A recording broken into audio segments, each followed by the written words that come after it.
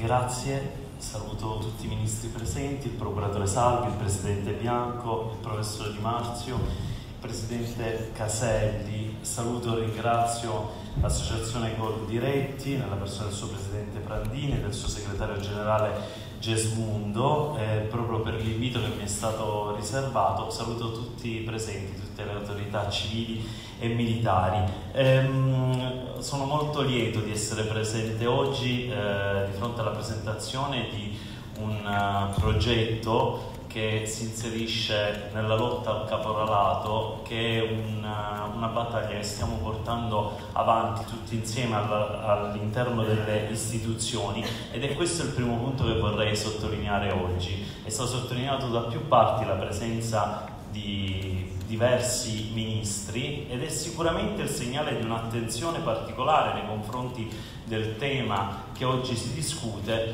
ma è anche ehm, un importante segnale del, del fa, della trasversalità di questo tema. Noi abbiamo già sentito il Ministro degli Esteri, ma eh, intervengo adesso io come Ministro della Giustizia e questo è un tema che riguarda senza dubbio le politiche agricole, ma riguarda l'economia sotto i due profili della tutela della leale concorrenza, riguarda la tutela del consumatore, interviene anche nella tematica relativa al, um, al, ai flussi eh, migratori, interviene nella tutela del Made in Italy, nella tutela della salute ehm, e conseguentemente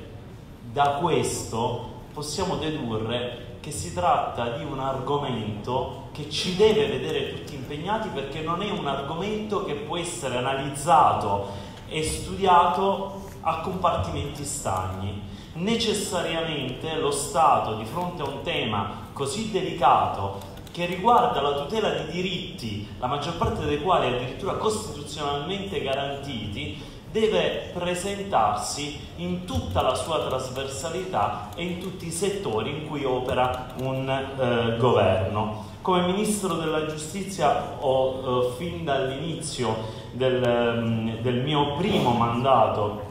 condiviso con il Ministro del Lavoro e delle Politiche Sociali l'esigenza di garantire piena attuazione alla legge 199 del 2016, agendo non solo sul piano della repressione del fenomeno, ma ancor prima su quello della prevenzione. Il Ministero della Giustizia partecipa al tavolo costituito nel dicembre 2018 presso il Ministero del Lavoro e delle Politiche Sociali per elaborare misure di contrasto allo sfruttamento lavorativo e al caporalato, racchiuse in un piano triennale. Sono state promosse modalità sperimentali di intermediazione tra domanda e offerta di lavoro nel settore agricolo, la realizzazione di forme efficienti di trasporto dei lavoratori, il monitoraggio dell'andamento del mercato del lavoro agricolo, politiche attive del lavoro e di contrasto al lavoro sommerso, l'organizzazione e gestione dei flussi di manodopera stagionale e l'assistenza dei, lavori, dei lavoratori stranieri. Permettetemi di ringraziare, tra l'altro, la magistratura e le forze dell'ordine per la loro incessante attività di lotta alla criminalità che in questo settore richiede un livello altissimo di professionalità ed esperienza.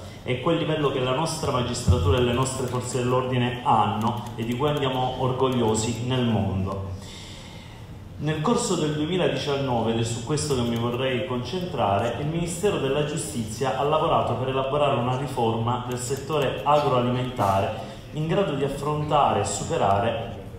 tutti i pericoli relativi proprio alla criminalità infiltrata nel settore agroalimentare. Ed è con soddisfazione che vi comunico che nel prossimo Consiglio dei Ministri è previsto e dovrebbe essere presentato il condizionale sempre d'obbligo, ma è già nell'ordine del giorno del Consiglio dei Ministri, un disegno di legge proprio in materia di illeciti agroalimentari che riprendendo in gran parte il testo varato dalla Commissione Caselli, a cui va il mio più sentito ringraziamento per quanto fatto, si muove lungo due tutele fondamentali, quella della salute pubblica e quella del consumatore e delle imprese, contro le condotte fraudolente sempre più diffuse nel settore alimentare.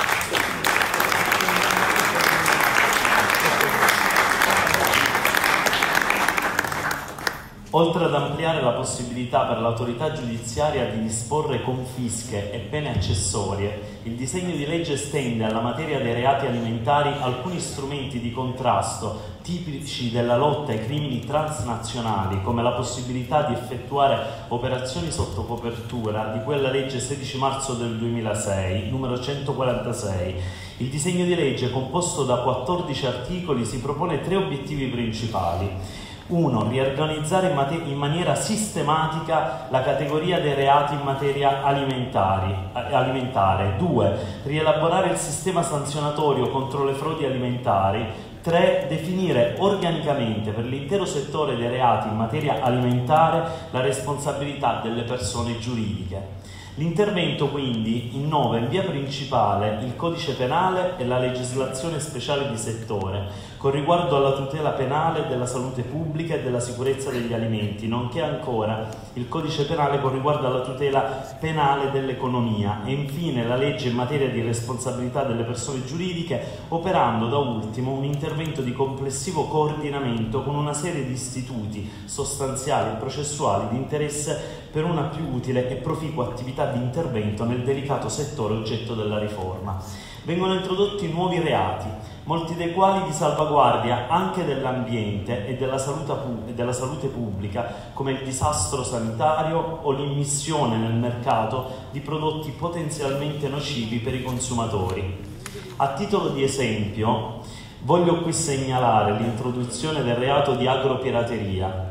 che comprende casi di contraffazione dei marchi di qualità, delle etichette, delle procedure di produzione come la simulazione del metodo biologico e dei documenti di accompagnamento. Parliamo di chi si organizza stabilmente per vendere alimenti o bevande che non hanno le qualità dichiarate circa l'origine, provenienza o quantità o che presentino indicazioni false, come per esempio i limoni IGP di Sorrento che non provengono da Sorrento. Sul versante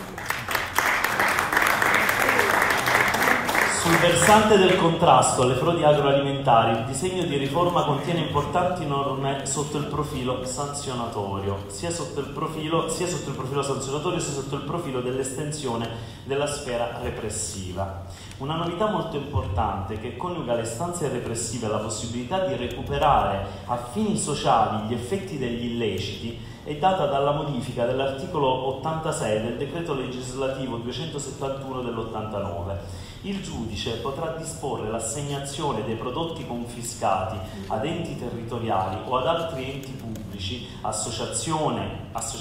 o consorsi affinché questi ultimi, successivamente alla rimozione di marchi e segni distintivi di identificazione, provvedano alla distribuzione gratuita delle derrate alle persone bisognose. L'analisi delle ripercussioni delle condotte fraudolente in ambito agroalimentare sul tessuto economico-commerciale ha fatto sì che venisse previsto un generalizzato incremento delle pene, specie con riguardo alle contraffazioni degli alimenti a denominazione protetta e chiaramente in questo caso non si vuole assecondare o avallare un'idea di giustizia meramente repressiva che si muove nella logica del solo diritto penale, perché come ho detto all'inizio il lavoro del Ministero della Giustizia è in tutti i tavoli in cui si fa prevenzione rispetto ai reati di cui stiamo parlando, ma è evidente che va rimarcata con nettezza la certezza della pena rispetto a un fenomeno così grave. Nell'ipotesi di maggiore gravità,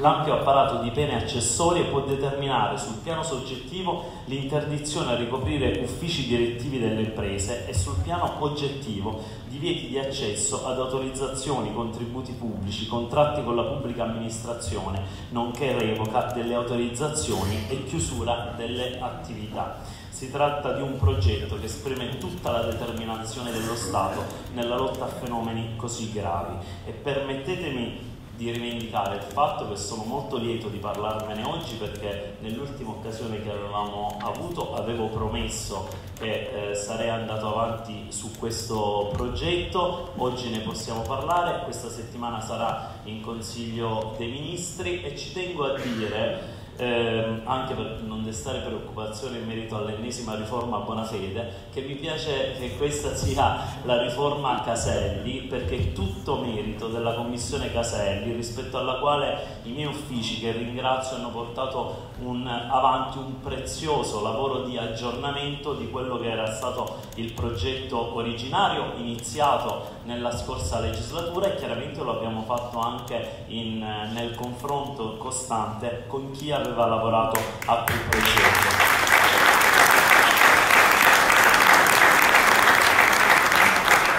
È un confronto è un confronto che proseguirà nel corso dell'iter eh, di questo disegno di legge che ha visto impegnati me e la ministra Bellanova che ringrazio. Abbiamo lavorato fianco a fianco su un progetto che consideriamo ambizioso e, ehm, e il fatto che questo sia un progetto iniziato nella scorsa legislatura dimostra come sia l'occasione per la politica di dare un segnale di unità delle istituzioni nel momento in cui si tratta di tutelare i diritti inviolabili dei cittadini sanciti dalla nostra Costituzione. E direi che sono diritti che possono essere ben sintetizzati nel titolo di oggi, legalità e dignità. Grazie.